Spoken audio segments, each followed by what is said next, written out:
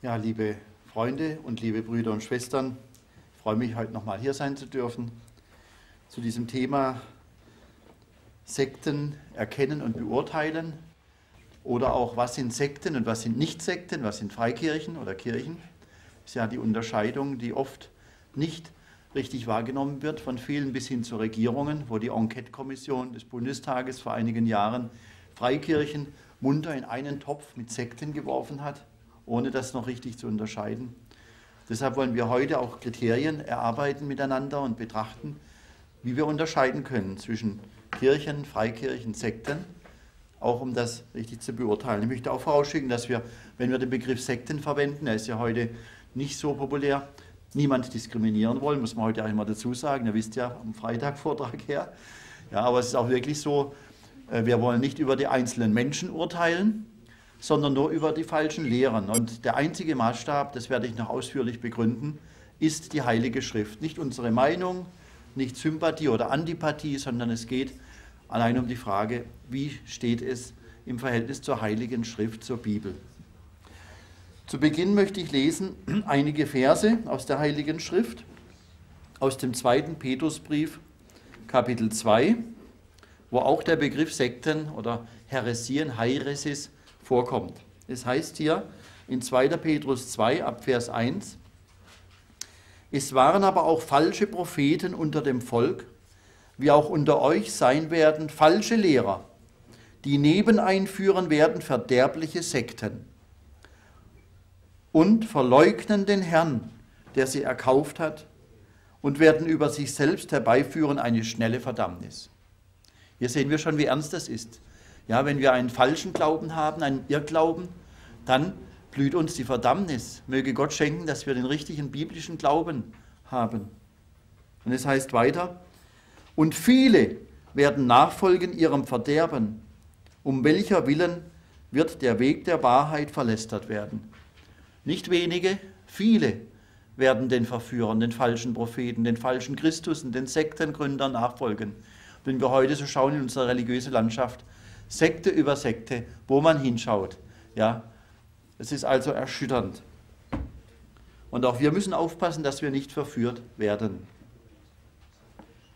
Und dann heißt es noch, ist auch so ein Kennzeichen in Vers 3, und durch Geiz mit erdichteten Worten werden sie an euch Gewinn suchen. Geiz, Gewinnsucht, Guruismus mit ja, Geldgier verbunden. All diese Phänomene begegnen uns auch ganz typisch bei vielen Sekten. Und dann heißt aber so tröstlich auch, welchen das Urteil von lange her nicht säumig ist und ihre Verdammnis schläft nicht. Tröstlich sage ich, weil wir wissen dürfen, Gott wird diesem Spuk ein Ende machen. Sein Gericht steht bereit über alle Verführer und auch die blinden Blindenleiter. Und auch, wir wollen auch für solche Menschen beten, solange sie noch hörbereit sind. Ja, auch da haben wir noch einen Auftrag, aber uns auch nicht verkämpfen. Wir haben den Auftrag zu missionieren, zu evangelisieren. Und Gott ruft auch immer wieder einzelne Menschen, hat auch mich berufen, uns auch mit diesem finsteren, belastenden, negativen zu beschäftigen. Es ist nicht jedermanns Auftrag. Und vor allem, wenn wir ins Gebiet des Okkulten hineinkommen sollten, gilt es auch vorsichtig zu sein, denn die Sekten kommen ja letztendlich alle aus einer finsteren Quelle. Sie haben eine dämonische Inspiration, die Begründer egal wie sie nun heißen. Und diese Quellen müssen wir prüfen und uns davon fernhalten. Nun aber möchte ich systematisch dieses Thema entfalten. Ich werde zunächst mit uns betrachten die Frage, was ist eine Sekte? Also der Begriff Sekte, was das eigentlich heißt. Dann auch den Begriff Sondergemeinschaft im Unterschied dazu. Dann etwas ausführlicher auch die Frage betrachten, Sekten, Kirchen, Freikirchen, wo liegen die Unterschiede? Unterschiedliche Sektendefinitionen aus der Wissenschaft auch miteinander betrachten. Die sind ja wirklich sehr unterschiedlich, werden wir noch sehen. Ja, zum Teil geradezu absurde Definitionen, aber das wollen wir auch mal hören, weil viele in unserer Bevölkerung das auch so sehen. Und dann aber die entscheidende Frage, was sind Sekten aus biblischer Sicht und wie warnt uns die Bibel, die Heilige Schrift, Gottes Wort vor Sekten? Und schließlich als letzter Teil dann, wie können Sektenmitglieder frei werden? Wie können wir ihnen das rettende Evangelium bezeugen? Und was müssen wir beachten, wenn wir im Gespräch mit ihnen stehen? Zunächst also, was ist eine Sekte? Der Begriff Sekte stammt aus dem Lateinischen und es gibt zwei mögliche Sprachwurzeln. Entweder sequi, das heißt jemandem folgen, nachfolgen, einem Führer oder Guru, einem Meister. Und der zweite Begriff, auch aus dem Lateinischen, secare, da kommt der Sektor her, ja, etwas ausschneiden, etwas herausbrechen, etwa aus dem Kuchen, ein Stück herausschneiden. Ist keine Sekte, aber ein Sektor aus dem Kuchen. Aber man fragt ja auch nicht, willst du einen Sektor Kuchen essen, ja? Aber das ist dieser Bereich, dass man, und das heißt, dass man nur einen Teil herausschneidet aus der Heiligen Schrift. Einen Teil der Wahrheit nimmt und ihn dann vermischt mit Irrtum. Und Verführung heißt ja immer Vermischung von Wahrheit und Irrtum, von echter Lehre und falscher Lehre. Wenn es nur alles gelogen wäre oder falsch wäre, da würde niemand drauf hereinfallen. Aber weil es halt ja, so schön verbrämt ist mit einer Teilwahrheit, dann werden viele verführt. Ich denke persönlich, dass beide Begriffe den Begriff Sekte begründen können, dass beide Begriffe einander ergänzen. Einem Führer, sprich Verführer nachfolgen, als absolutem, einzigem Autoritätsmaßstab und zugleich nur einen Teil der Wahrheit aus der Bibel nehmen und andere Pseudo-Wahrheiten, das ist jetzt ein paradoxer Begriff, ja, im Grunde Lügen, hinzufügen. Das nennt man dann zwar auch noch Wahrheit, ist aber durch Pseudo, durch Lüge durchgestrichen dann schon und ist nicht mehr die Wahrheit, die in Jesus Christus selber als dem einzigen Weg zum Vater uns erschienen ist. Johannes 14, Vers 6, der Herr Jesus spricht, ich bin der Weg, die Wahrheit und das Leben. Niemand kommt zum Vater außer durch mich. Und in Apostelgeschichte 4, es ist in keinem anderen das Heil, ist auch kein anderer Name unter dem Himmel den Menschen gegeben, durch den sie gerettet werden, als allein der Name Jesus. Das wollen wir festhalten gegenüber allen Sekten. Im Griechischen findet sich auch der Begriff Hairesis, das heißt also Heresie, eine Irrlehre, der man nachfolgt, auch der Begriff Ketzer findet sich in der Kirchengeschichte. So haben die Katholiken die Katharer bezeichnet, die eine besondere Lehre hatten mit Seelenwanderung auch und mit gewissen Absonderungsvorschriften und so weiter. Wobei die Katharer trotz allen Irrlehren, die sie auch hatten, bestimmt auch nicht viel unbiblischer waren als die katholische Kirche. Ja, auch damals schon mit ihren Sonderlehren, die sie sich ja hinzugefügt hatte. Es gibt ja in der katholischen Kirche Bibel und Tradition. Die Tradition ist genauso gleichgewichtig wie die Bibel und die letztendliche Auslegung beansprucht der Papst durch sein unfehlbares Lehramt. Manche sagen dann auch, ich sage es mal mit verdeckter Hand, das sei die größte Sekte. Ja. Darüber können wir gerne noch diskutieren.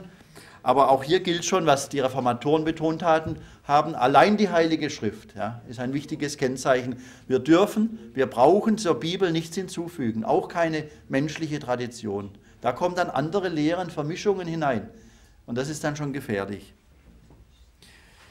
Der Begriff Sekte. Dann gibt es den Begriff Sondergemeinschaft. Das ist etwas, ja, nicht so drastisch. Das klingt so ein bisschen positiver. Aber ich denke, der Begriff ist problematisch, er ist untauglich, weil jede Kirche, jede Gemeinde, natürlich auch jede Sekte, hat ihre Besonderheiten. Sonst wird es ja nicht unterschiedliche Kirchen und Gemeinden geben. Und das ist auch nicht immer falsch. Ja, der eine hat die Erkenntnis stärker betont, der andere jene. Äh, natürlich ist es immer auch die Auslegungsfrage. Ja, was ist für mich, wie lege ich jetzt diese Stelle aus? Ich werde aber noch Regeln nennen, wie wir die Schrift richtig auslegen, dass wir nicht zu Sektenlehren kommen. Wenn man nämlich Dinge aus dem Zusammenhang reißt, ist ein typisches Kennzeichen von Sekten, dass sie Dinge aus dem Kontext, Zusammenhang herausnehmen und das dann verabsolutieren und dann ein ganzes eigenes System darüber bauen. Eine große Gefahr.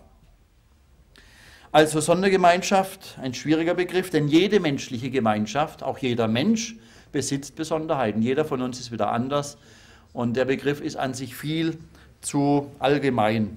Und die Frage stellt sich auch, wovon hat sich denn diese Gemeinschaft abgesondert? Ja. Was ist die ursprüngliche Kirche oder Gemeinde und was ist die Sekte? Gerade die Sekten beanspruchen, sie seien ja die ursprüngliche Kirche in der vorkonstantinischen Zeit, wird oftmals doch auch gesagt und behauptet. Und ja, die Urgemeinde, das ist auch ein Ideal, was dann viele anstreben und sich dann abgesondert haben. Zum Teil vielleicht auch zu Recht, denn äh, ich habe durchaus auch ein kritisches Verhältnis zu den großen Kirchen. Ja, das wissen ja manche, dass ich da auch viele Entwicklungen heute kritisch beurteile. Stichworte Homosegnung, Bibelkritik, Feminismus, Bibel in sogenannter gerechter Sprache, in Wirklichkeit ungerechte, feministische Bibelverfälschung. Und auch bei den Evangelikalen gibt es sektierische Ansätze, wenn man an eine sogenannte Volksbibel denkt, wo man Gottes Wort in einer lästerlichen Fäkalsprache verfälscht hat. Es ist grauenhaft, so etwas. Und vom größten evangelikalen Medienkonzern wird das vertrieben. Ja? Ist das nicht auch schon sektierisch, wenn hier Gottes Wort dermaßen frevelhaft verfälscht wird? Wir wollen gar nicht also mit den Fingern jetzt nur auf diese Sekten zeigen, die klassischen, ich komme noch darauf zurück, sondern müssen auch selber prüfen, wo sind denn bei uns Dinge eingedrungen, die vom Diabolos sind, ja, vom Durcheinanderbringer, vom Teufel hineingeworfen werden, um auch die Gemeinden zu spalten, um auch da ähm, Verführung einzuschleusen. Sondergemeinschaft. Damit umschreibt man oftmals solche Gruppen wie die Adventisten etwa, weil man sagt, die haben jetzt eine größere ökumenische Weite entwickelt sind auch Mitglied im ACK, Arbeitsgemeinschaft christlicher Kirchen, in der ACK, und ähm, haben auch tatsächlich eine Öffnung vorgenommen für andere Gemeinden, ähm, woraufhin sich übrigens bei den Adventisten die radikaleren Gruppen abgespalten haben und dann sogenannte Tochtersekten gebildet haben, die sagen, ja, die, die große adventistische Kirche, die hat sich der Ökumene angebietet, jetzt sondern wir uns davon wieder ab. Es kommen manchmal zu meinen Vorträgen auch Adventisten, ich weiß nicht, ob heute jemand da ist, die auch darunter leiden unter einer falschen Ökumenisierung, auch bei den Adventisten. Das sei an der Stelle auch erwähnt. Und wir dürfen auch die Ökumene nicht verherrlichen, denn gerade hier, denke ich, wird auch die Hure Babylon sich entwickeln durch diese große Vermischung sämtlicher Konfessionen und auch Religionen übrigens, sodass man nicht mehr die Wahrheit sagen und glauben kann, sondern es wird alles relativiert, alles einheitlich, so wie auch beim vereinten Europa. Ich habe ja am Freitag darüber gesprochen, das geschieht auch auf religiösem Gebiet. Also so möchte ich sagen, wir bewegen uns hier auf einem schmalen Grad. Wir sind weder, also ich zumindest, für eine Weltverbrüderungsreligion, große Ökumene, wo dann die Wahrheitsfrage gar keinen Platz mehr hat, Einheit um jeden Preis wird dann postuliert. Und wir sind aber auch nicht für eine endlose Aufsplitterung der Christen. Ja, können wir auch nicht sein. Das ist auch oftmals von Machtstreben, von Egoismus, von selbstherrlichen Ansprüchen, von äh, Ältesten oder was auch immer bestimmt, wenn es sich immer mehr aufspaltet. Beides ist vom Übel. Und der Teufel versucht entweder die Leute in die große Ökumenisierung hineinzuziehen, wo man nicht mehr nach der Wahrheit Jesu Christi fragt und des Wortes Gottes allein, und auf der anderen Seite endlose Spaltungen, Rivalitäten und so weiter. Lassen wir uns warnen, dass wir nicht in die eine oder andere Richtung mitgerissen werden. Eine große Gefahr in der Endzeit. Falsche Ökumenisierung und falsche übertriebene Absonderung von anderen. Absonderung ist ein biblisches Gebot, wo Verführung und Sünde hineingekommen ist. Aber zuerst sollen wir auftreten und dann erst austreten. Habe ich auch versucht. Mit diesen 995 Thesen haben wir es ja versucht, in den 90er Jahren aufzutreten, etwa in den großen Kirchen. Und der Austritt, was zumindest mich betrifft, kam dann erst, nachdem die Bischöfe nicht darauf hören wollten uns verlacht haben und gesagt haben, wir haben einen großen Papierkorb. Habe ich aus dem Mund eines Bischofs selber gehört, den ich besucht habe. Es war der konservativste von allen. Aber selbst er sagte, wir haben einen großen Papierkorb für eure warnenden Thesen. Lieber hat man die Moslems zu Wort kommen lassen in der EKD-Synode, anstatt den 30 christlichen Gruppierungen, die hier zur Buße eingeladen haben, zur Umkehr, einen Gesprächsraum zu geben. Ja, das war tatsächlich in Mannheim passiert. Ich weiß nicht, ob jemand von euch dabei war. Ich glaube, einzelne damals die Mahnwache vor dem Mannheimer Restaurant Wartburg, wo die EKD-Synode tagte, und wir durften nicht hinein. Keine fünf Minuten Redezeit für Repräsentanten von, ich sag mal, Hunderttausenden Christen, aber stattdessen der Moslemvertreter durfte also einladen zu einem Moscheebesuch in dieser Zeit. Soweit sieht es auch in der EKD aus. Ich will das nicht verherrlichen. Ja, ihr wisst, was EKD ist evangelische Kirche in Deutschland. Also deshalb, ihr seht, wir wollen gar nicht mit den Fingern auf andere zeigen. Es geht darum, sich selber zu prüfen, eigene Lager, die eigene Gemeinschaft, die eigene Kirche, ob es jetzt große oder kleine Kirchen sind, wo stehen auch wir in der Gefahr. Jetzt also die Frage, systematisch entfaltet, Sekten, Kirchen, Freikirchen. Wo liegen jetzt die Unterschiede? Kirchen Der Begriff im Deutschen kommt von Kyriake, von Kyrios. Wer weiß, was das bedeutet? Ja, der Herr, ja. Kyriake, die dem Herrn gehörige Gemeinde. Ich sage lieber Gemeinde als Kirche übrigens. Ja, Kirche hat so einen seltsamen Klang, rituell festgelegt und traditionell und verknöchert. Die Gemeinde sollte an sich etwas Lebendiges sein, ein lebendiger Organismus. Aber hier Kyriake, da hat sich dann der deutsche Begriff entwickelt, die dem Herrn gehörige Gemeinde. Das wird dann im Deutschen als Kirche, als Kerke in den skandinavischen Sprachen bezeichnet, in den nordischen Sprachen. Nun ist ja die Gemeinde, und das haben die Reformatoren, denke ich, treffend unterschieden, die wahre Gemeinde der wiedergeborenen Christen, die wirklich Jesus lieb haben, die errettet sind durch seinen Opfertod am Kreuz auf Golgatha. Diese Gemeinde ist zunächst einmal unsichtbar. Denn es heißt in 1 Samuel 16, Vers 7, ein Mensch sieht, was vor Augen ist, der Herr aber sieht das Herz an. Der Herr weiß, wie wir zu ihm stehen. Wir können dem anderen nicht ins Herz schauen. Ja? Wir können zwar die Früchte sehen, ob es eine gute oder böse Frucht ist, aber das letztendliche Urteil über jeden Menschen steht allein unserem Herrn Jesus Christus zu, der Augen hat wie Feuerflammen, wie es in Offenbarung 1 heißt. Wunderbar, dass er uns prüft bis in das Innerste, unsere Herzen und Nieren kennt. Auch in Psalm 139 lesen wir, ja, er sieht in das Verborgene und wenn ich fliehen würde bis ans äußerste Ende, würde er doch dort sein und würde auch seine Hand mich halten. Es sind nicht jetzt nur prüfende Augen, sondern auch liebende Hände des Herrn, dass er uns umgibt, ja, wie eine Mutter ihr Kind hält. Aber wir müssen und dürfen uns ihm anvertrauen. Die Reformatoren haben zu Recht gesagt, dass es die unsichtbare Gemeinde der wirklich Wiedergeborenen gibt, aber auch die sichtbar erscheinende Kirche. Und die haben die Reformatoren, Lutheraner insbesondere, so definiert, dass das die sichtbare Kirche ist, die sich um Wort und Sakrament versammelt. Ich möchte jetzt nicht über den Sakramentsbegriff diskutieren, ich sehe das inzwischen etwas anders als Luther, das wissen auch manche, aber das haben sie als äußere Kennzeichen dargestellt äußere Kennzeichen. Einig bin ich mit Luther, das Wort Gottes. Da aber das Wort Gottes klar verkündigt wird, da ist Gemeinde, auch wenn noch nicht alle gläubig sind. Aber sie sind auf dem Weg, sie sind eingeladen. Und ja, so ist die Gemeinde also ein Organismus, wo wirklich Gläubige, Wiedergeborene sind, aber auch solche, die noch nicht gläubig sind, eingeladen sind und dabei sind. Und es gibt aber auch immer wieder leider auch Heuchler und da muss auch jeder sich immer wieder prüfen, meine ich es ernst mit dem Herrn Jesus, gehe ich wirklich mit ihm. Ein vermischter Leib, so haben die Reformatoren gesagt, ist die Gemeinde.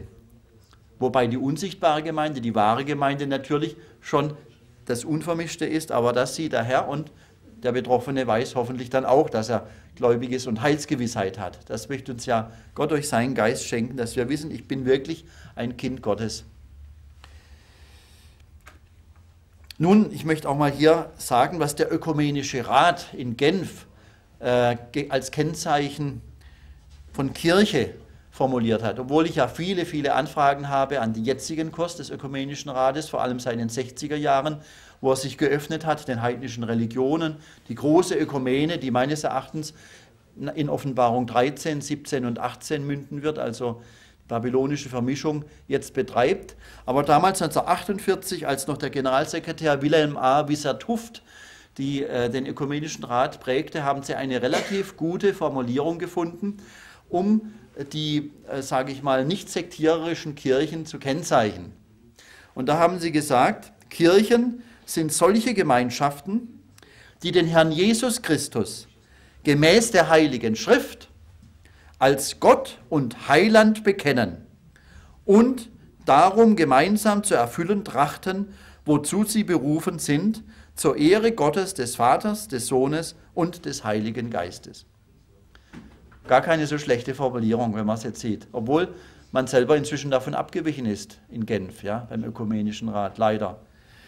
Aber das ist diese große Superökumene und ja, da können wir nur warnen, denke ich. Aber sie sagen damals solche Gemeinschaften, die den Herrn Jesus Christus bekennen zunächst. Ja, Jesus Christus.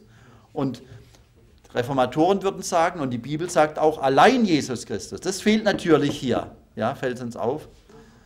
Und das ist das Kennzeichen zur Unterscheidung der Geister auch. Allein, dieses Wort allein, das wird oft weggelassen. Man redet zwar auch von Jesus Christus, man hat auch vielleicht noch sogar die Bibel, aber nicht mehr allein Jesus, nicht mehr allein die Bibel. Achtet immer darauf, wenn jemand fromm daherredet von Jesus, wer, dann fragt mal, wer ist für dich der Weg? Ja, Jesus. Allein Jesus?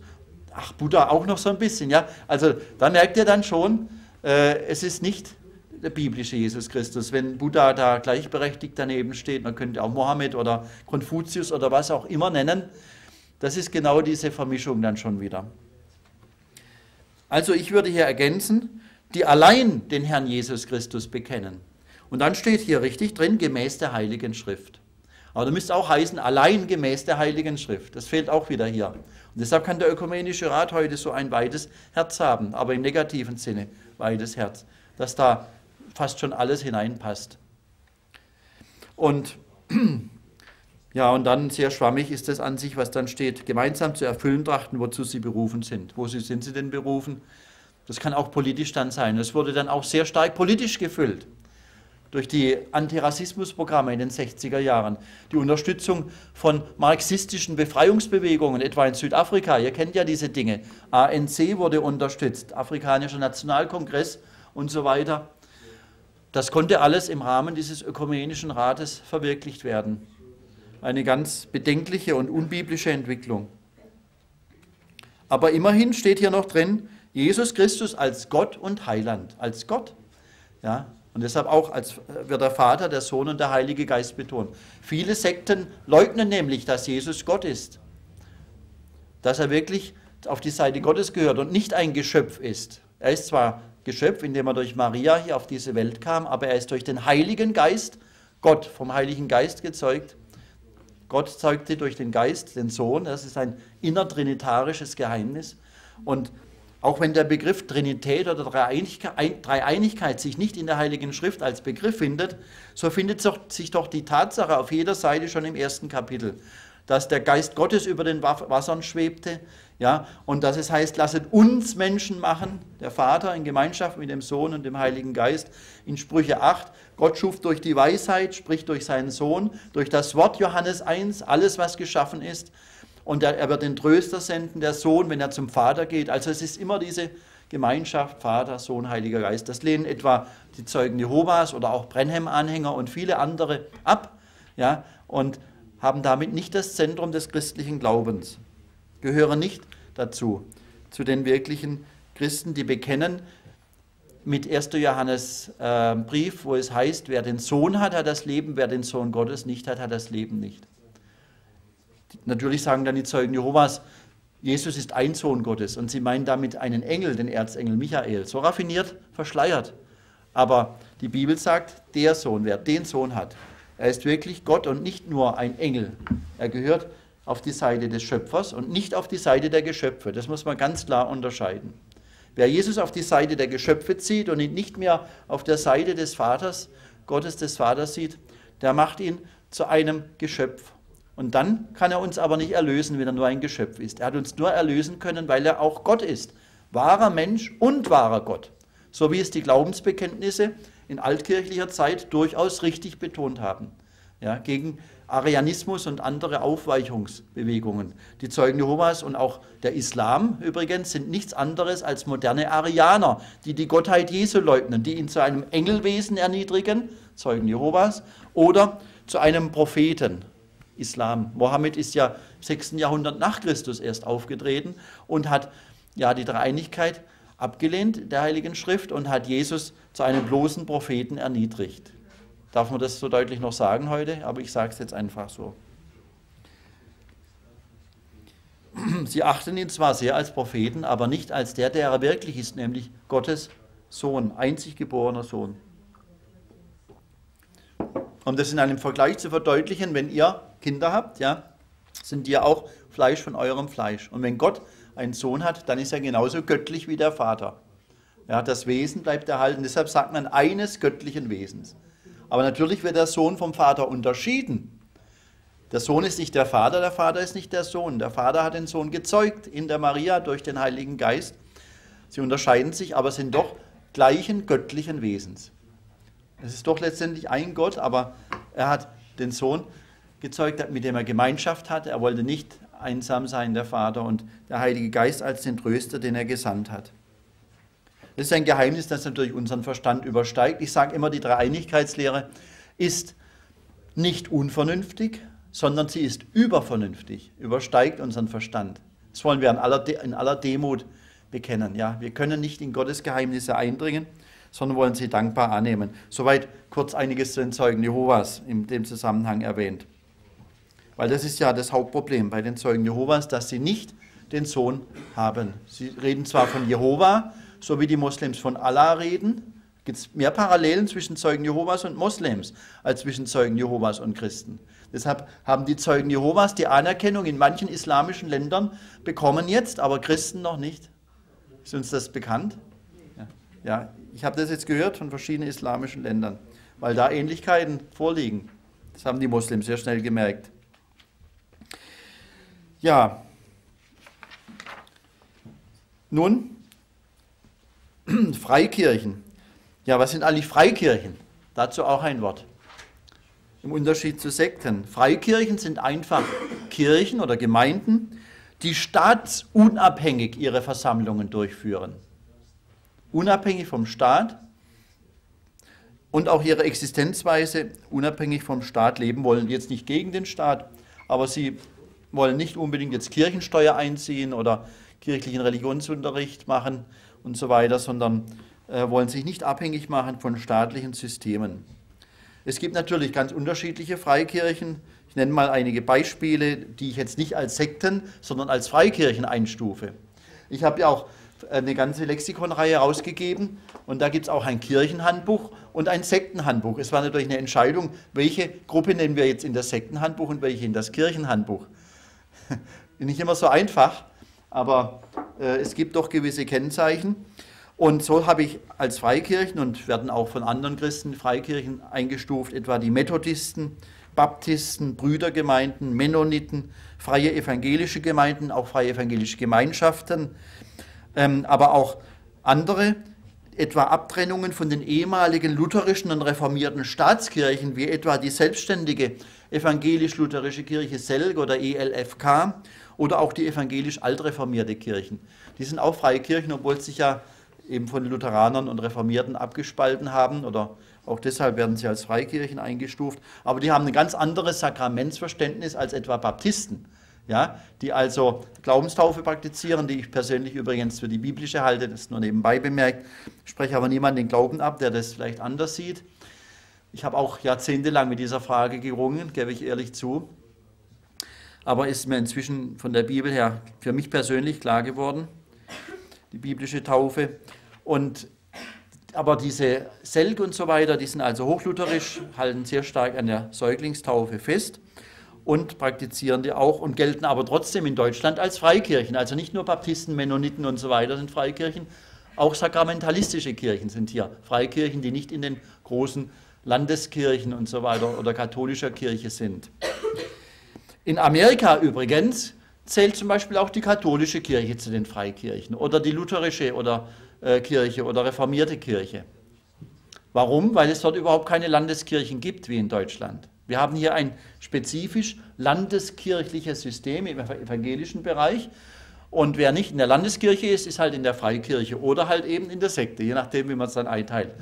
Ja, da gibt es halt nur sozusagen schwarz und weiß für die deutschen Normalbürger. Wer halt nicht in der großen Kirche ist, ja, das ist dann manchmal schon anrüchig, ja. Was, du bist nicht in der katholischen Kirche oder Landeskirche? Naja, dann, äh, aber ich werde ja begründen, warum das trotzdem keine Sekte dann sein muss, wenn man nicht in der Landeskirche ist.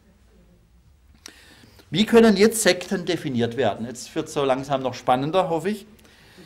Ähm, ich will euch einmal einige Zitate bringen aus der Kirchengeschichte, wie man versucht hat, den Begriff Sekte zu definieren, also zu bestimmen. Nun, eine Sekte kann, jetzt nicht erschrecken, soziologisch, politisch, psychologisch, philosophisch, aber auch theologisch bestimmt werden. Alles klar? Soziologisch, ein Verhältnis zur Gesellschaft. Societas, die Gesellschaft. Politisch halt im Verhältnis zum Staat. Wie stellt sich die Gruppierung zum Staat, zur Regierung? Ist sie staatsfeindlich womöglich sogar? Da galten wohl in der DDR-Zeit alle Kirchen als Sekten letztendlich in, in den Augen des Staates. Nicht? wenn man es mal streng sieht. Oder psychologisch, wie gehen Sie mit Ihren Anhängern ein? Gibt es, Gehirn, äh, um, gibt es Gehirnwäsche? Gibt es Autorität äh, über die Gewissen und so weiter? Dann auch philosophisch und theologisch. Alle diese Kriterien haben eine gewisse Berechtigung, aber ich möchte jetzt schon klarstellen, entscheidend ist für mich und für andere Sektenexperten ähm, sozusagen, dass wir das theologische Kriterium als das Entscheidende ansehen. Und das ist für mich persönlich das Verhältnis zur Heiligen Schrift. Das kann das letztendlich einzige letzte Kriterium sein. Aber im Vergleich dazu wollen wir jetzt einmal hören aus der Kirchengeschichte, welche zum Teil ähm, seltsamen Definitionen es gibt, die aber doch lange Zeit Einfluss hatten und zum Teil in der Volksmeinung bis heute Einfluss haben. Im Jahre 1877 grenzte der Tübinger evangelische Theologe Christian Palmer Kirche und Sekte folgendermaßen voneinander ab. Er schrieb in seinem Buch Die Gemeinschaften und Sekten Württembergs, Juristisch ist, eine, ist jede Gemeinschaft eine Sekte, wenn sie sich von der herrschenden, vom Staat anerkannten Kirche trennt. Ja, so einfach. Verstanden? Also wer nicht in der Staatskirche damals noch äh, vorwilhelminische Ära oder was auch immer war, äh, der galt als Sektierer oder wurde so definiert von diesem Tübinger evangelischen Theologen. Und er schreibt dann weiter, und wenn sie ihren eigenen Gottesdienst, ihr eigenes Vorsteher- und Lehramt errichtet. Nur eine solche Gemeinschaft religiösen Glaubens und Lebens, die imstande ist, ein ganzes Volksleben zu durchdringen und eine weltgeschichtliche Potenz zu werden, nur eine solche kann als Kirche anerkannt werden. Ja, alles, was weltgeschichtliche Bedeutung hat. So wie im russischen Bereich jetzt die russisch-orthodoxe Kirche, die will ja alle, alle anderen Kirchen verdrängen. Ja? Ich habe mir heute mal einen russisch-orthodoxen Gottesdienst zum Teil mit angeschaut. Das ist natürlich sehr feierlich und sehr fürs Auge, für die Nase und alles und das beeindruckt die Bevölkerung. Wenn sie nicht die Bibel lesen, dann werden sie das so als absolute Wahrheit annehmen. Aber die Bibel, ja, die ist ja heute immerhin schon freigegeben, etwa von der katholischen Kirche. Seit dem Zweiten Vatikanischen Konzil ist das freigegeben. Früher war das ja gar nicht so richtig erlaubt, hat man das dem Kirchenvolk verbieten wollen, wohlweislich. Ja, es könnte ja sein, dass jemand merkt, dass das Papsttum gar nicht biblisch ist. Ihr sollt niemand Vater nennen auf Erden, die, außer die leiblichen Väter natürlich, okay, aber im geistlichen Bereich dürfen wir nur Gottvater, nur Gottvater nennen. Und was heißt Papst? Papa heißt Vater, ja. Allein da wird schon deutlich, dass es keinen Papst geben kann. Petrus war kein Papst, aber einer der Apostel den Jesus mit der Grundlegungsfunktion betraut hat. Ja, in Matthäus 16, auf diesen Felsen werde ich meine Gemeinde bauen. Das war Petrus als das erste Felsstückchen auf dem großen Felsen Jesus und das Petrus-Bekenntnis und dann auch die Petrus-Predigt in der Apostelgeschichte 2, wo dann die Gemeinde grundgelegt wurde. Aber die Apostel haben niemals, außer im Falle des Judas und Matthias dann, niemals Nachfolger eingesetzt. Ja. Es ist in der ersten Generation ausgestorben. Paulus sagt selber, er war der Letztberufene, eine unzeitige Geburt, 1. Korinther 15. Und deshalb, liebe Freunde, sind die neuapostolischen, katholisch-apostolischen und sämtliche Apostelsekten völlig unbiblisch. Das sei auch dazu jetzt erwähnt an dieser Stelle. Ja, die Neuapostolischen beanspruchen ja, sie seien durch eine neue Geistesberufung Anfang Neun des 19. Jahrhunderts äh, vom Herrn selber eingesetzt worden. Das waren ja verschiedene Abspaltungen. Es gab zuerst die katholisch-apostolischen in England, Adlige meistens, Parlamentarier. Und dann, als die keine Nachfolger einsetzen wollten, sie erwarteten Jesus noch zu ihren Lebzeiten, dieser selbsternannten Apostel, als sie dann alle außer einem ausgestorben waren, der letztlebende sogenannte Apostel der Neuzeit hieß Woodhouse, der wurde über 90. Aber schon in der Zeit sagten sie, wir müssen neue Apostel berufen, gab es solche Kräfte. Ja? Ähm, sie haben den Herrn erwartet zur Lebzeit dieser neuen sogenannten Apostel, aber er kam eben nicht. Und dann war noch der Letztlebende gestorben und schon vorher hatte der selbsternannte Prophet Geier, ein Deutscher, in Deutschland neue Apostel berufen, gegen diese katholisch-apostolischen in England. Und so hat sich über verschiedene Abspaltungen dann schließlich die neuapostolische Kirche gebildet, jetzt ganz kurz dargestellt. Ja, es gibt eine lange Spaltungsgeschichte, auch heute noch, wo der eine Apostel den anderen ausschließt und hin und her. Aber es gibt, so möchte ich behaupten, keine Apostel nach dem ersten Jahrhundert. Alles andere können nur falsche Apostel sein. Die Bibel warnt vor solchen falschen Aposteln. Das kurz zu diesen ganzen Apostelsekten. Es gibt übrigens auch im charismatischen Bereich solche Behauptungen, dass wir heute wieder Apostel berufen müssten. Aber keiner dieser neuen Apostel kann das entscheidende Kriterium erfüllen. Welches ist das? Apostelgeschichte 1. Er muss Augenzeuge und Ohrenzeuge gewesen sein, aller der Ereignisse mit Jesus Christus, mit ihm gewandelt sein, seine Auferstehung erlebt haben. Das war entscheidend für die Wahl des neuen Apostels Matthias, kann keiner erfüllen. Und es ist ein Grundlegungsamt gewesen. Wenn es in Epheser 2 und Epheser 4 vorkommt, dann ist ganz klar, die Gemeinde ist, ist, erbaut auf den Grund der Apostel und Propheten, aber wenn der Grund einmal gelegt ist, kann er nicht immer wieder gelegt werden. Das war in der ersten Generation die Grundlegung, indem der Herr Jesus kam und damals seine Apostel und Propheten berufen hat. Ja? Man kann ein Haus nicht immer wieder äh, mit weiteren Fundamenten aufstocken. Das ist historisch zu sehen, diese Aussage mit diesen ersten Aposteln. können nachher gerne noch über einzelne Fragen reden. Ich kann jetzt vieles nur anreißen. Habt da bitte Verständnis. Das war 1877. Kirche ist nur, was das gesamte Volksleben durchdringt, also nur die Staatskirche. Ist natürlich falsch, wissen wir ganz genau von der Bibel her, dass das nicht sein kann. Aber dann der Soziologe Max Weber ist vielleicht bekannter, bekannter Soziologe. Er hat die Zugehörigkeit zur Kirche oder Sekte definiert nach dem Grad der Freiwilligkeit, Freiwilligkeitsprinzip. Er schreibt, eine Kirche ist eine Gnadenanstalt, eine Gnadenanstalt ist die Kirche, welche religiöse Heilsgüter wie eine Fideikommissstiftung verwaltet. Also, dass man Vertrauen überträgt, zu Deutsch gesagt. Und zu welcher die Zugehörigkeit der Idee nach obligatorisch, daher für die Qualität des Zugehörigen nichts beweisend ist. Eine Sekte dagegen ist ein voluntaristischer Verband, das heißt ein freiwilliger, durch eigene Entscheidung äh, akzeptierter Verband, dem ich mich freiwillig durch eine Entscheidung anschließen kann.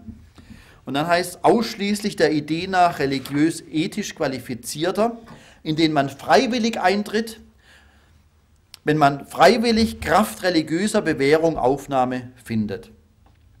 Zitat Ende. So Max Weber in den gesammelten Aufsätzen zur Religionssoziologie neu aufgelegt 1963, ist schon älter. Aber liebe Freunde, auch da bleibt der Unterschied zwischen Freikirche, Sekte und auch Landeskirchen und so weiter ganz außen vor. Der, gerade der Freiwilligkeit, gut, der ist nur dann nicht vorhanden, die Freiwilligkeit, wenn man schon hineingetauft wird als Baby. Das ist ja natürlich die Selbstrekrutierung der Landeskirchen und der katholischen Kirche, dass die Mitglieder schon als Baby haben, wenn sie nicht dagegen protestieren können. Aber, ja, ich sage es mal etwas zugespitzt, äh, will es jetzt auch nicht äh, weiter ausdehnen. Aber die Freiwilligkeit allein, das gibt es auch bei Freikirchen, gibt es aber auch bei Sekten, wobei es bei Sekten gar nicht immer die Freiwilligkeit ist. Er meint, das sei sektierisch bei Freiwilligkeit. Aber gerade Sekten versklaven ja ihre Mitglieder. Nicht? Da ist ja gar nicht die Freiwilligkeit. Also dieser, diese Definition ist auch völlig untauglich. Dann Ernst Drölsch, wer hat den Namen schon mal gehört? war zunächst Theologe, verlor dann den Glauben und wechselte dann zur philosophischen Fakultät über. Und er sagte, wohlbemerkt über die Sekte, über die Sekte folgendes.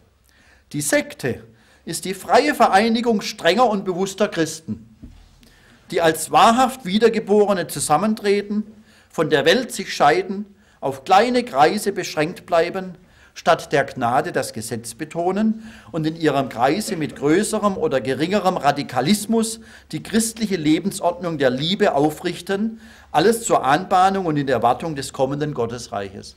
Zitat Ende. Fühlt euch da auch betroffen? Fühle ich mich da vielleicht auch betroffen? Ich denke, das meiste, was er da gesagt, würde ich als gut biblisch ansehen. Aber das wird hier als sektierisch dargestellt. Das Einzige, wo ich Bauchschmerzen kriege, wenn er uns unterstellt oder wenn er unterstellt hier, dass man statt Gnade das Gesetz betont. Das ist natürlich das klassische Vorurteil.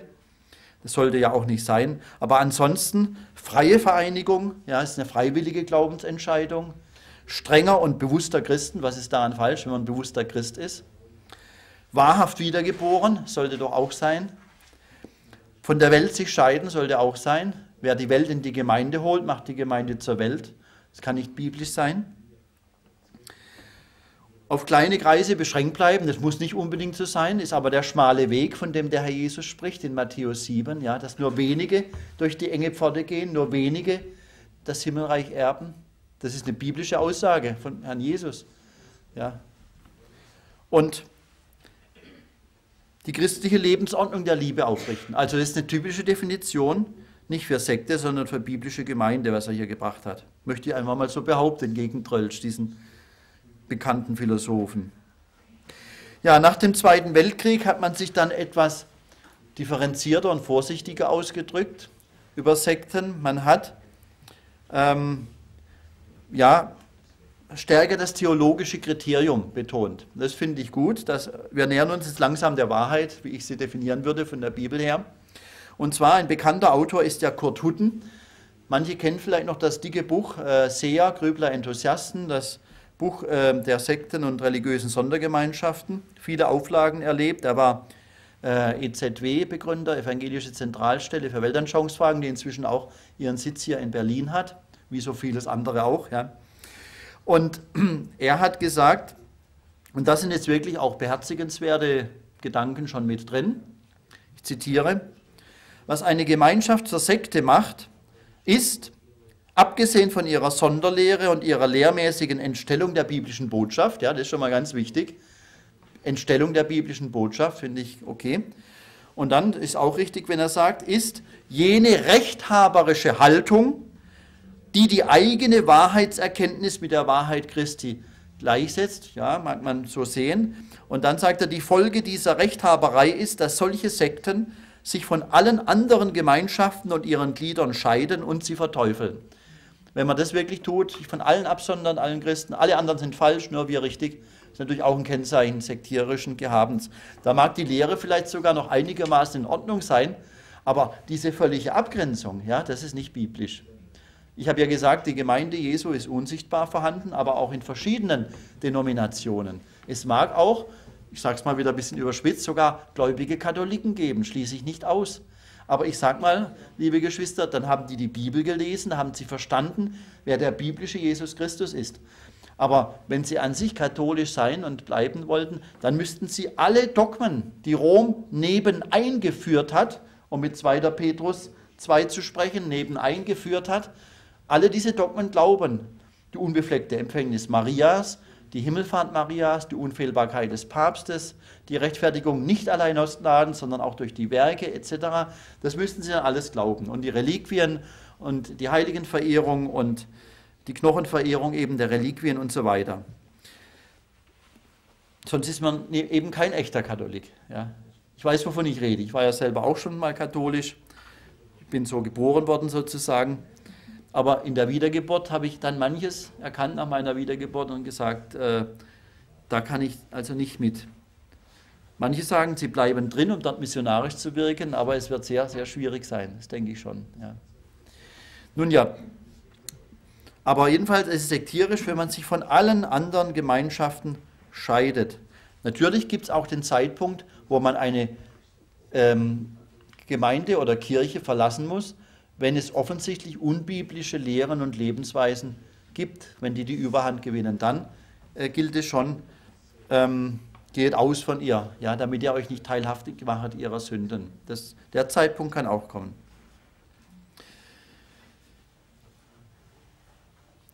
Seit den 70er und 80er Jahren des 20. Jahrhunderts wurde allerdings der Sektenbegriff sehr verschwommen. Man spricht jetzt von diffuser Religiosität.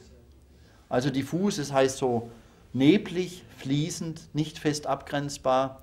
Alles ist erlaubt, alles schillernd, ja, alles passt hinein in den großen Religionskuchen. Eine ganz gefährliche Situation. Da kam die Postmoderne mit der Auflösung aller Werte. Und jetzt kommt die Emerging Church, wo es auch keine feste biblische Lehre mehr geben soll, wo es um Gefühl geht, um Weihrauch, um Kerzenschein, um Emotion. Gefährliche Tendenz, lasst euch da nicht mitreißen, sondern bleibt auf der Grundlage der Heiligen Schrift. Das ist unser einziger Maßstab, nicht unsere Empfindungen. Die dürfen auch kommen, aber wie bei einem Zug hinten dran und nicht vorne als die Lok, ja, die Empfindungen. es gibt ein wachsender Supermarkt spiritueller Angebote, eine diffuse Religiosität und die ähm, verdrängen nicht, aber drängen sich immer mehr auch zwischen diese klassischen christlichen Sekten oder unchristlichen Sekten. Und wir haben einen riesigen Supermarkt heute an Angeboten. Ich will jetzt mal ein paar bekanntere Sekten nennen, die ich persönlich, die auch die meisten anderen Christen wohl als Sekten einstufen würden. Bloß, dass wir mal gehört haben, die Zeugen Jehovas natürlich nach wie vor als die klassische Sekte, die allerdings immer mehr die staatliche Anerkennung erstrebt, als Körperschaft des öffentlichen Rechts, sogar in Berlin ja, ihr wisst das, einen Sieg in juristischem Kampf über Jahre errungen hat. Sie haben jetzt Anerkennung gewollt von einer Behörde, die sie früher als Babylon verschrien haben, von der, von der Regierung. Ja. So hat sich das auch bei denen etwas geändert. Vielleicht durchaus positiv zu werden, ein Stück weit, natürlich, eine gewisse Aufweichung äh, und Annäherung. Aber ihre Grundlehren, äh, die Leugnung der Gottheit Jesu Christi und so weiter, die halten sie natürlich nach wie vor fest. Deshalb sind sie noch lange nicht christlich im biblischen Sinne. Dann die Neuapostolischen, habe ich einiges gesagt. Die Mormonen, was sind die Mormonen? Joseph Smith, ja, er hat Visionen bekommen, sind ihm verschiedene Engelwesen erschienen, wie auch übrigens Mohammed und anderen Sektengründern, und haben ihm gesagt, auf die Frage, in welche Kirche soll ich gehen, haben sie ihm gesagt, keine ist richtig, du musst etwas Neues gründen, ja, und dann haben sie ihm diese Offenbarungen gegeben und er hat eine völlig unbiblische, spiritistisch-freimaurerische Lehre begründet mit Freimaurerritualen und äh, das, äh, das, was er Gott nennt, sind nur aufgestiegene Geschöpfe, also er trennt nicht zwischen Schöpfer und Geschöpf, ja, Gott ist eine höhere Stufe des Menschen und der Mensch entwickelt sich zur Götterstufe. Er glaubt an viele Götter, folglich Joseph Smith und seine Nachfolger, die Mormonen. Es hat überhaupt nichts mit Bibel und Christentum zu tun. Ja. Eine völlig heidnische, polytheistische Lehre mit vielen Göttern, ähm, ein Gräuel vor Gott, ja, so etwas zu glauben, dass der Mensch Gott werden könne. Ja, wir sind nach Gottes Ebenbild geschaffen, aber ein Ebenbild ist niemals das Original. Wenn jemand ein Foto von euch macht, ist das nicht das Original von euch, sondern es ist nur ein Abbild. Das darf man nicht verwechseln. Ist auch im Okkultismus, im Spiritismus immer die Gefahr, dass man den Menschen vergöttlicht, dass man nicht unterscheidet zwischen Schöpfer und Geschöpf, dass man den Menschen aufsteigen lässt in die Geisterwelt und die Geisterwelt direkt mündet in die göttliche Sphäre, dass da gar nicht mehr unterschieden wird. Und dann haben wir die Geister auf der Erde und die Menschen und Besessenheit ist etwas Normales, das sind die ganzen spiritistischen Sekten. Medien spielen da eine Rolle, meistens Frauen, manchmal auch Männer. Frauen sind bekanntlich empfänglicher für spiritistische Botschaften als Männer. Und ja, Männer sind gefährdeter auf dem sexuellen Gebiet, ja, und Frauen eher mit diesen spiritistischen Dingen. Das ist auch eine gewisse Erfahrung aus der Menschheitsgeschichte und Kirchengeschichte. Dann auch die christliche Wissenschaft, Christian Science. Wer hat davon schon gehört? Ah ja, die Begründerin Mary Baker Eddy. Sie war geprägt von dem Mesmerismus eines Quimby, wurde selber von ihm geheilt nach einem Sturz und hat dann diese Lehre vertreten, die, ich möchte so deutlich sagen, weder christlich noch wissenschaftlich ist. Wissenschaftlich nicht, weil das eine Art Geistheilung ist, die auf spiritistischer Grundlage beruht und auch nicht christlich, weil völlig das Zentrum des biblisch-christlichen Glaubens verdrängt wird. Es wird gelehrt, der Mensch sei vollkommen von Natur aus, Sünde und Krankheit und sogar der Tod sei nur eine Einbildung, eine Illusion. Der Mensch müsse erkennen, dass das Göttliche in ihm wohnt. Wenn er das richtig erkennt und freisetzt, wie im Hinduismus übrigens, ja, dann kann er seine eigenen äh, Potenziale entwickeln, so wie es im New Age-Denken heute auch gelehrt wird, so ähnlich, ist natürlich schon älter diese Richtung. Und dann kann er auch erkennen, dass er gar nicht krank ist. Das ist dann diese Art von Geistheilung. Es spielen auch Elemente der Autosuggestion hinein, dass man sich selber etwas einredet, des Hinduismus, des Mesmerismus, also dieser magischen Magnetfeldtheorie mit diesen Handauflegungen, dem Mesmerismus. Ähm, und äh, also weder christlich noch wissenschaftlich. Ich habe selber einen Lehrer gehabt, der in dieser äh, Sekte sich befindet, wollte mich kürzlich mal wieder überzeugen. Dann habe ich ihm Jesus klar bezeugt, dass Jesus für unsere Sünden gestorben ist, dass wir nicht vollkommen sind, dass wir Erlösung brauchen, dass in uns nichts Göttliches wohnt von Natur aus. Ja, mehr als bezeugen kann ich es nicht, ich kann beten für ihn. Aber das sind traurige Dinge, wenn Leute so verblendet sind und die Bibel völlig verfälschen. Römer 3 praktisch völlig uminterpretieren müssen, wo es heißt, es ist keiner gerecht, es ist keiner vollkommen. Da macht man dann die Augen zu davor und lehrt genau das Gegenteil. Und dann habe ich gesagt, wo ich die Stellen gebracht habe, sagte, das kann man heute ja nicht mehr sehen. Glauben Sie wirklich da an die Bibel? Wir haben ja neue Erkenntnisse. Da wird es dann deutlich. Ja, die Bibel ist nicht mehr der alleinige Maßstab. Da kommen dann Neuoffenbarungen, Neuoffenbarungsbewegungen sind dann da ganz wichtig. Es gibt dann natürlich auch buddhistische Sekten, Zen-Schulen aus dem Zen-Buddhismus, Psychosekten wie Scientology, dazu vielleicht auch ein Wort. Der Begründer Ron Hubbard, Verfasser von Dianetik, hatte ja engen Kontakt mit Aleister Crowley, dem führenden Satanisten. Und er hat eine Psychotechnik entwickelt, um Menschen in völlige Abhängigkeit zu bringen. Das geschieht auch psychologisch, indem Fragebogen in der Stadt äh, ausgefüllt werden. Und wenn man da schon ehrlich antwortet, dann ist man schon gefangen. Weil dann fragen die auch dann weiter, haben sie schon mal gestohlen, schon mal gelogen, schon mal die Ehe gebrochen. Ja, wenn man das dann alles bejaht äh, und man dann nicht mehr kommt, dann sagen sie, ja, wir werden es bei der Polizei melden, dass du schon mal gestohlen hast. Nicht? Und solche Dinge. Seien Sie nur vorsichtig mit Fragebogen, auch sonst überhaupt in der heutigen Technik. Es ist alles erfassbar, vor allem auch über Internet. Wenn man da die Kontonummer und so weiter und Daten rausgibt, muss man sehr vorsichtig sein. Jetzt wird es aber heiß, wenn ich über Scientology rede. Ich darf vielleicht hier diese Abhilfe schaffen. Vielen Dank. Ja, es ist wirklich eine gefährliche Gruppierung und äh, auch finanziell. Es sind sehr teure Kurse natürlich, wo die Leute regelrecht ausgebeutet werden. Nicht? Regelrecht in Deutschland ist es noch kritisch beobachtet, aber in den USA wird sehr Druck ausgeübt auf unsere Regierung auch, dass man das als Kirche anerkennen soll. Hat überhaupt nichts mit christlichem Glauben zu tun, ist eine reine Psycho- und UFO-Sekte. Es wird gelehrt, dass irgendwelche Geistwesen von fernen Planeten die, auf die Erde gekommen seien, dass diese Tetanen in uns wohnen würden, ja, unseren Leib angenommen haben und auf ihre Befreiung warten, indem man dann clear wird, den Verstand klärt und lauter solche Dinge. Also es war ja ein Science-Fiction-Autor, Ron Hubbard, der hat ja solche, wie Perry Roden, solche Romane geschrieben. Ja, ja, es ist wirklich so und die Leute glauben das, ja, weil sie nicht an Gott glauben wollen, glauben sie an, an Science-Fiction-Gestalten. Es ist also unglaublich, aber leider wahr. Und, sagt der Gotteswort, viele werden ihnen nachfolgen. Psychosekten,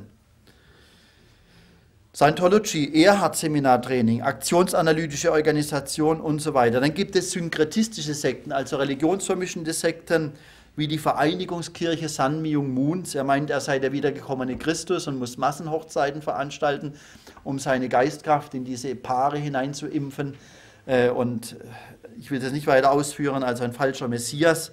Dann die Bahai-Religion, besonders gefährlich, weil sie genau dem Zeitgeist entspricht, alle Religionen zusammenzuführen, der Bahaismus.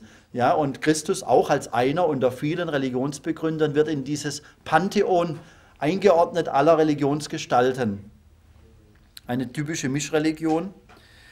Dann gibt es auch Politsekten auf dem NS- und kommunistischen Gebiet, sogar esoterische Partei, esoterische Union ist schon mal aufgetreten und solche Sachen. Da spukt so manches rum. Und dann auch die Neuoffenbarungs- und spiritistischen Sekten. Da sei genannt Fiat Lux, universelles Leben, geistige Loge Zürich und so weiter.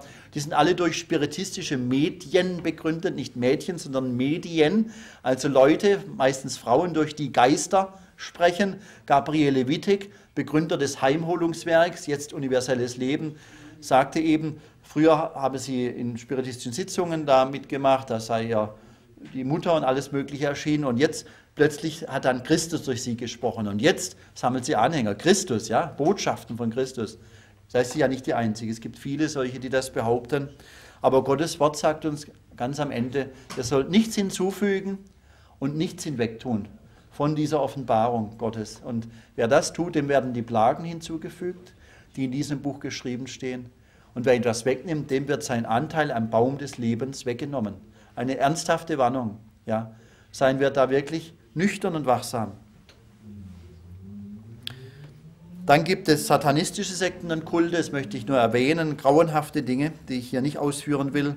Dann gibt es New Age-Sekten und Kulte, wo man den Wassermann verkündigt, Aquarius und den Maitreya Christus, der der Welt Frieden und Einheit und Harmonie bringt, sowie auch bei den Guru-Bewegungen immer dieser falsche Friede, dieses falsche Harmonieprinzip, das nichts mit der wirklichen Errettung zu tun hat, wo der Mensch in einen Trancezustand hineingelullt wird, wo er nicht mehr Wahrheit und Lüge unterscheiden kann, wo es noch über den Gefühlsweg dann geht, in das Wassermann-Zeitalter, ja, und die Menschen versklavt werden. Und ich muss auch nennen, das Thema meiner Doktorarbeit, Anthroposophie, Rudolf Steiner, Christengemeinschaft. Damit habe ich mich acht Jahre beschäftigt in meiner Dissertation und kann nur sagen, Finger weg von all diesen Dingen, die damit zusammenhängen. Es ist eine hochokkulte Strömung.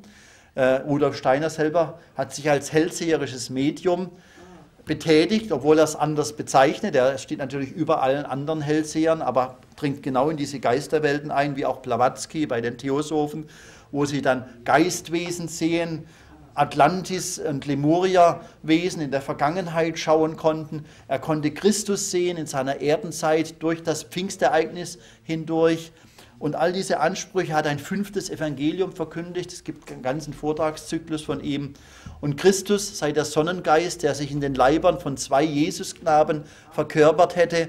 Der eine die Buddha-Strömung, der andere die Zarathustra-Strömung. Das ist alles Rudolf Steiner. Und davon kommen Waldorfschulen und Veleda-Medizin und all diese Dinge heute, die sehr populär sind. Aber es ist diese Quelle. Und wenn die Wurzel so faul ist, liebe Freunde, sollten wir, denke ich, die Finger von diesen Dingen weglassen.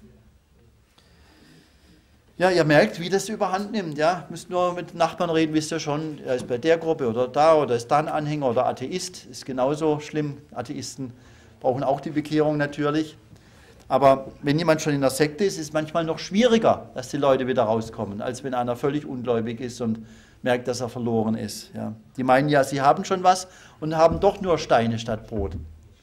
Geben wir ihnen doch das wahre Evangelium, das allein in der Heiligen Schrift zu finden ist in aller Demut. Auch unsere Erkenntnis ist Stückwerk, 1. Korinther 13. Aber die zentrale Heilsbotschaft ist deutlich. Das kann schon ein Kind verstehen in der Kinderstunde. Der Herr Jesus hat mich lieb. Er ist für meine Sünden gestorben. Er ist am Kreuz gehangen und verblutet, um meine Schulter zu tragen und abzubüßen. Und er ist siegreich von den Toten auferstanden, um mir ewiges, erfülltes Leben zu schenken. Das ist die zentrale Botschaft, die auch die wirklich Bibelgläubigen Kirchen und Gemeinschaften festhalten, auch bei manchen Unterschieden im Detail, aber da, wo die Gemeinschaft da ist, da dürfen wir uns freuen über Brüder und Schwestern.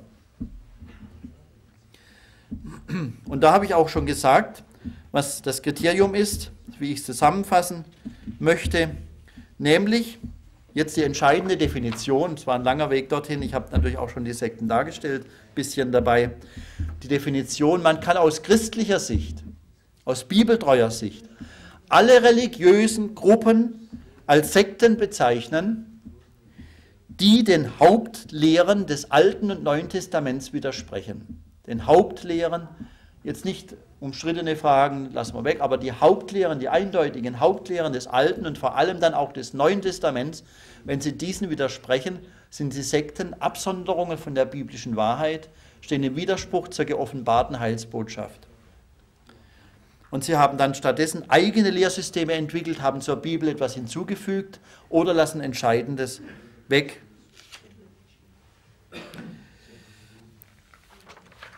Und auch natürlich die Lebenspraxis wollen wir nicht außer Acht lassen. Ja, es kann jemand sich als bibeltreu bezeichnen und ein völlig unbiblisches Leben führen. Das gehört immer zusammen. Rechte Lehre und rechtes Leben. Ja, Orthodoxie, Orthopraxie, um das mit griechischen Begriffen auszudrücken. Das ist genauso wichtig, vielleicht noch wichtiger, denn man kann alles im Kopf haben, die rechte Erkenntnis, aber im Herzen fehlt es. Das ist ein trauriger Zustand. Auch die Gefahr beim Theologiestudium übrigens. Ja.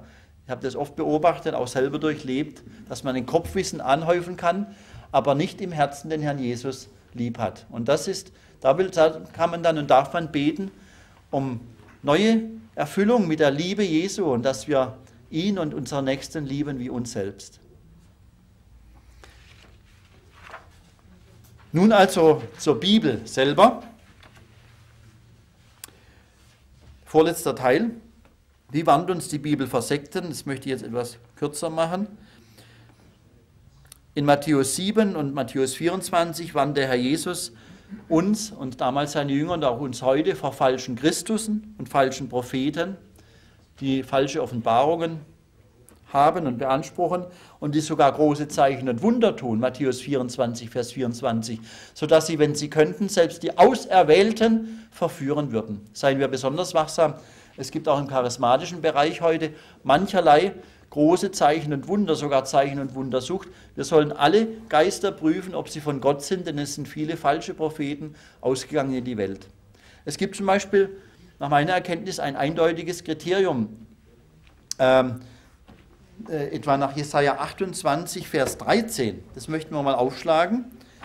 Gerade wenn Hand aufgelegt wird und die Leute dann in solche Zustände kommen, gibt es zum Beispiel ein Kriterium in Jesaja 28, Vers 13, ob das vom Heiligen Geist ist oder nicht vom Heiligen Geist. Da lesen wir zum Beispiel an dieser Stelle, es gibt auch andere, über die falschen Propheten und die falschen Priester. Darum soll ihnen auch des Herrn Wort also ergehen. Zaflazaf, Kaflakaf, Zaflazaf, Kaflakaf, hier ein wenig, da ein wenig, dass sie hingehen und zurückfallen, rücklings fallen, zerbrechen, verstrickt und gefangen werden. Und wohin sind die Häscher, die Soldaten gefallen, als sie den Herrn Jesus gefangen nehmen wollten? Auch nach hinten, ja sind nach hinten gefallen. Das ist kein Zeichen des Segens gewesen, sondern des Gerichts, genauso wie in Jesaja 28, 13. Und ich warne davor, sich vorstellt, die Hände auflegen zu lassen. Davor warnt uns das Wort Gottes, wenn man sich nicht kennt, wenn man den Seelsorger nicht kennt und wenn das so wahllos geschieht in Massenveranstaltungen. Dann fallen die um. Vielleicht habt ihr schon solche Bilder gesehen. Es gibt ja auch Filme äh, darüber, wo dann das gezeigt wird, auch kritisch zusammengestellt. Ich habe selber einen auf meiner Homepage, wo ich darauf hinweise, auf solche Filme. Ähm, und da ist es so, da, der Benny Hinn zum Beispiel mal einen Namen zu nennen, der wedelt nur mit dem Jäckchen und die Leute, Leute fallen reihenweise nach hinten. Auch bei Bonke und anderen kann man das beobachten. Also ich sage mein Empfinden mal dabei, mir wird es da unheimlich, wenn ich das sehe. Ich, ich habe nicht den Eindruck, dass es vom Heiligen Geist ist, ich sage es mal so frei, weil hier die Leute in einen Trancezustand kommen. Dann kommt auch eine Art Geplapper, was man dann als Zungenreden bezeichnet. Ich bin da vorsichtig jetzt mal. Wobei ich denke, dass das biblische Zungenreden ein Sprachenreden war zu Pfingsten, wo die äh, Apostel in anderen Sprachen reden konnten, auf übernatürliche Weise. So wie wenn ich jetzt schon perfekt Russisch könnte. Ich lerne es gerade erst mühsam wieder neu, als neue Fremdsprache. Aber die haben es einfach gekonnt. Der Herr hat es ihnen geschenkt, um das Evangelium diesen zu bezeugen, die da waren. Also ich persönlich denke, es ist kein sinnloses Gestammel, sondern wirklich eine Sprache, die anderen zum Segen dienen kann. Das ist meine Erkenntnis gemäß Apostelgeschichte 2, auch in 1. Korinther 14. Da wird übrigens gewarnt, man soll lieber, ähm, wie viele Worte verständlich reden? Zehn Worte, glaube ich. Verständlich als 10.000 in unverständlicher Sprache. Ist ein viel größerer Segen, wenn die Gemeinde das versteht. Ja. Ich will es nicht völlig ausschließen, dass es heute noch geben kann. In Missionssituationen zum Beispiel, ja, dass da plötzlich der Herr etwas schenken kann, so übernatürliches, natürlich. Aber ähm, wir sollen auch hier prüfen, aus welcher Quelle die, diese übernatürlichen Phänomene kommen. Und vor allem, wenn die Leute dann nach hinten fallen, in Trancezustand nicht mehr wissen, was los ist, dann ist es, denke ich, gefährlich von diesen Warnungen her. Es gibt eine andere Stelle, die wichtig ist, um das besser zu verstehen. 1. Korinther 14 wird gesagt, wenn jemand äh, überführt wird durch die verständliche prophetische Rede in 1. Korinther 14, dann wird er sich wohin neigen, nach hinten oder vorne? Er wird auf sein Angesicht fallen und Buße tun. Ja, sich bewusst vor dem Herrn neigen und nicht so sich erschlagen lassen im Geist, wie es gesagt wird. Auf sein Angesicht fallen und Buße tun. Das ist, denke ich, ganz wichtig. Merkt euch mal diese zwei Stellen zumindest. Jesaja 28, 13 und 1. Korinther 14. Ich glaube, es ist Vers 25. Können Sie mal schnell nachschlagen. Immer gut, wenn man es auch mal selber liest. Ja, Vers 25. Also 24 lese ich zunächst. Wenn sie aber alle weissagten, also verständliche Predigt ist damit gemeint, überführende Predigt, dass die von der Sünde überführt. Wenn sie aber alle weissagten, Entschuldigung, nee, nee, das habe ich falsch rum gesagt, Entschuldigung, zunächst mal äh, die unverständliche und dann die verständliche Rede ist hier gemeint. Wenn sie aber alle weissagten und es käme dann ein Ungläubiger oder Laie hinein, ich habe es doch richtig gesagt, ja, also ich bin schon müde, also, Das Weissagen ist die verständliche Rede. Entschuldigung, wenn sie aber alle weissagten und käme dann ein Ungläubiger oder Laie hinein, der würde von ihnen allen gestraft und von allen gerichtet. Von allen überführt, kann man auch übersetzen. Ich habe hier eine alte Übersetzung. Und also würde das Verborgene seines Herzens offenbar und er würde also fallen auf sein Angesicht. Und das Angesicht ist bekanntlich nicht hinten, sondern vorne. Ja, ganz klar. Es hat mal einer gesagt, ist doch egal in welche Richtung. Ich habe gesagt, nee, es ist ein geistliches Unterscheidungskriterium, das uns die Heilige Schrift gibt, um die Geister zu prüfen, ob sie von Gott sind oder nicht. Ja. Er würde auf sein Angesicht fallen, Gott anbeten und bekennen, dass Gott wahrhaftig in euch sei. Und wenn wir die Bibel nämlich im Zusammenhang kennen und betrachten, dann werden wir nicht so leicht auf Verführung hereinfallen, sondern die Geister durchschauen können und prüfen können. 1. Johannes 4, Vers 1. Prüfet die Geister. Zeichen und Wunder. Das ist ein Kennzeichen, wo wir prüfen müssen. Es gibt Zeichen und Wunder, natürlich, echte Zeichen, aber auch falsche Zeichen. Und da sind Kennzeichen vorhanden, um das zu prüfen. Auch wenn Geldmacherei verbunden ist, ist auch sein Kennzeichen. Ja, oft ist Geldmacherei verbunden bei falschen Propheten. Äh, es gibt solche amerikanischen Fernsehsendungen, wo den Leuten stundenlang Kollektenpredigten gehalten werden. Ja, es ist abstoßend für Menschen, die noch eine Unterscheidungsgabe haben. Aber viele haben das offensichtlich nicht mehr. Die, die sind dann überwältigt da von dieser Liebe und Atmosphäre und können nicht mehr unterscheiden, dass hier ein Scharlatan am Werk ist, der ihnen das Geld aus der Tasche zieht. Man weiß von manchen solchen Heilungspredigern, dass ähm, da so Gebetskärtchen eingesammelt wurden mit Geldscheinen. Die Gebetskärtchen wurden sofort weggeschmissen, die Geldscheine wurden schön aufgehoben. Hat man also schon von Augenzeugen gehört, solche Dinge. Es ist sehr traurig, wenn solche Dinge passieren und das gibt auch Schande für das Reich Gottes, weil das ja von der Welt alles in einen Topf geworfen wird. An sich müssten echte Christen solchen Leuten auf die Finger klopfen und sagen, so geht es nicht weiter.